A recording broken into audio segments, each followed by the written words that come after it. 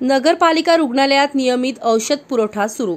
बुलढाणा शहरातील जोहर नगरमधील नगरपालिकेच्या रुग्णालयात औषध पुरवठा होत नसल्यामुळे रुग्णांची हेळसांड होत होती.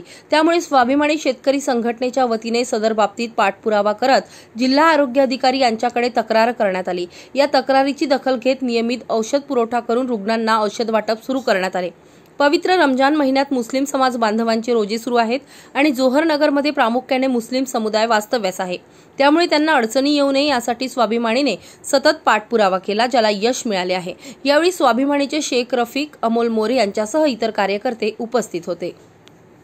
जो नगर पालिका जिला परिषद को मिलके जो दवाखाना शुरू हुआ था उस दवाखाने को गए पाँच साल पहले स्वाभिमानी शेतकरी संघटना के पाठपुरावे से शुरू हुआ था।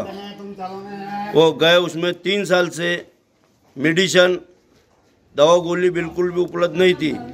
तो स्वाभिमानी शेतकरी संगठना ने जिला परिषद डी साहब को निवेदन दिए और उसमें निवेदन में ये बताए कि एक महीने के अंदर यहाँ पे गोला दवा वाटअप शुरू नहीं हुआ तो स्वाभिमानी शेतकरी संगठना बीमारों को लेके, रोगियों को लेके डीएचओ साहब इनके कैबिन में भर्ती करेंगे ऐसा इशारा दिए थे। और आज शुक्रिया है, वो डीएचओ साहब का, कि जो उन्होंने महीना भर का इशारा जो दिए थे, वो महीना भर का इशारा उन्होंने पाँच दिन में पूरा किए। और आज आज का पाँचवा दिन है, निवेदन देने को आज गोल्या दवा स्वाभिमानी शेतकरी संगठना के हाथ से वाटअप हुई।